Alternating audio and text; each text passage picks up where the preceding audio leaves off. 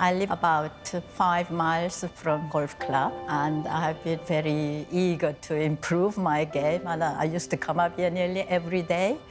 Very enjoyable, and it's sociable. I enjoy life. It wasn't always uh, that rosy. When I was having my dental problems, I had some dark years. It started off with a, a, burning sensation in the gums. I would be tender and bleed on brushing your teeth. Also, most embarrassing thing was the bad breath. That used to terrify me. I was so afraid of opening and exposing my ugly side. I couldn't chew properly any hard stuff. How I used to envy people biting into the apples, which I couldn't do. It was something I couldn't talk about because the problem was caused by my poor oral hygiene, so I felt shame. I wasn't uh, speaking up as much as I would have done with a cancer condition. People can talk about it, whereas with a dental condition, I thought perhaps I will find a way of treating it without making too much fuss. When I made a visit to dentist, it never really cured anything. But when it went on for years, uh, then I was very frightened. I started losing teeth, and I knew, no, this is serious.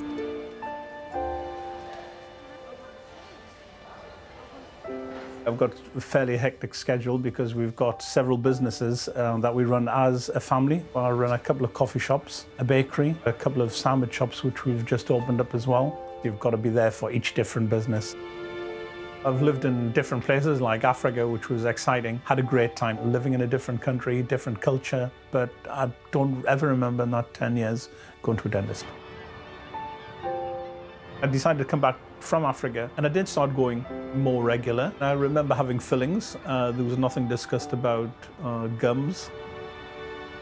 Even when I brushed my teeth and, and, and I spat and there was some blood inside it, it didn't register any alarm bells because I actually probably thought I was just brushing a little bit too hard.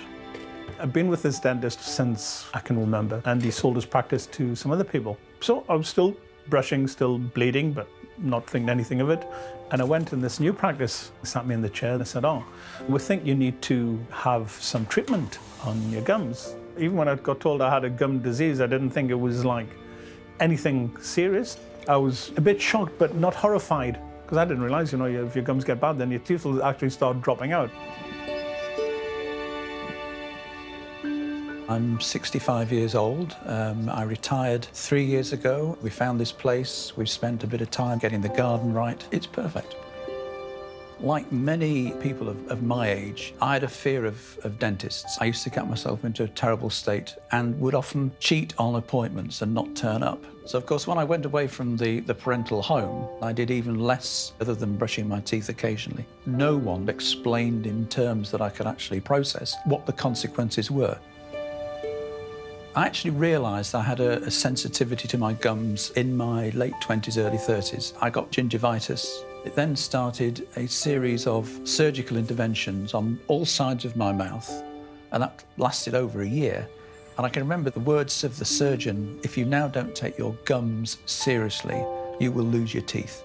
You know, the penny does begin to drop the actual fact I had to take myself seriously, which is what I did. My wife Pam has been through a similar set of experiences recently, so we share that common bond. I suppose I first became aware about two years ago that it was a gum disease rather than anything else. I'm very pleased that it's been spotted because obviously before that point you don't know why it's uncomfortable and you want it to go away and of course that always takes time and you can be fine for a while uh, but the inevitability is that it will it will come back.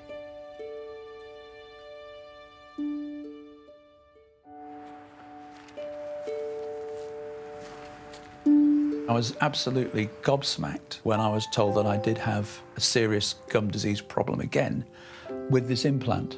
I'd done exactly what everybody had told me to do for years and years and years. And therefore, to find after all of this effort, the body still wasn't sort of behaving as I thought it would do, I was surprised.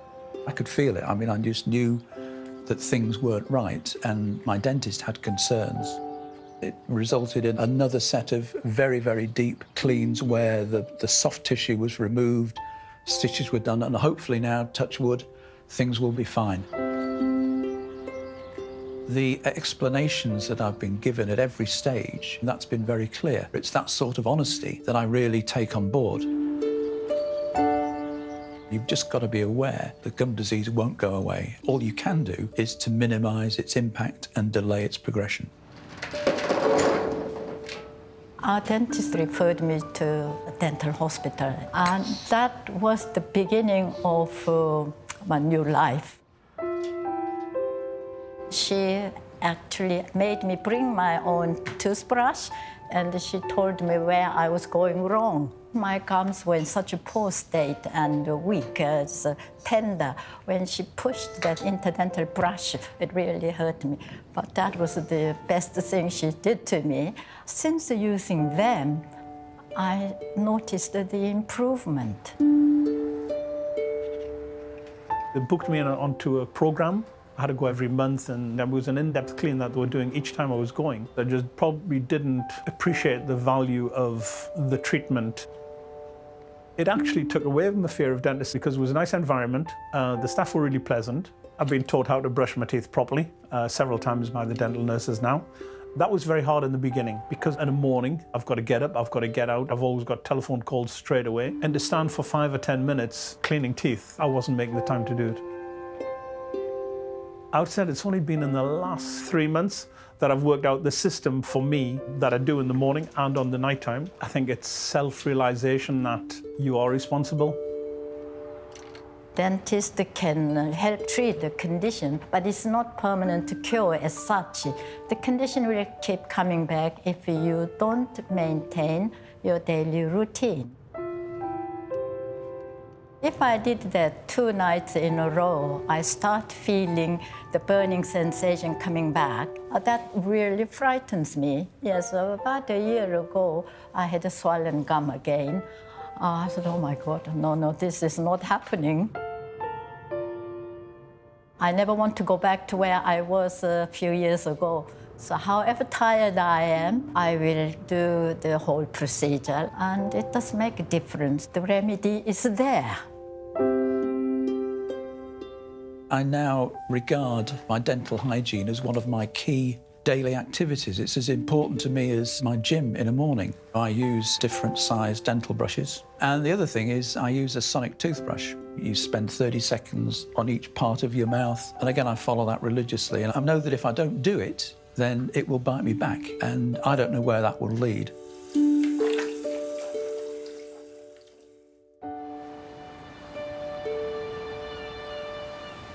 If I hadn't done this, would my gums have just rotted and would some of my teeth have just dropped out? Very possibly. If they had actually said, John, your gums are in a shocking state, you've got to do this, you're at a risk of losing so many teeth, I'd have cleaned and done exactly what they said from the very beginning. The main difference is I do focus more on oral hygiene than I ever have in the past. A lot more in-depth cleaning, a lot more awareness. The improvement is that now, when I brush my teeth and uh, rinse my mouth, there's no traces of blood. And so I presume if I continue doing as I'm doing now, then hopefully that should continue in the future.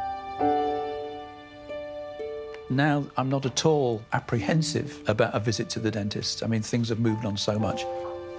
It's now a team effort. I feel I'm part of a, a process. My mouth feels much better. I mean, I can feel that the pockets have closed. I guess it's probably in, in the best state that it's been in, uh, in many years.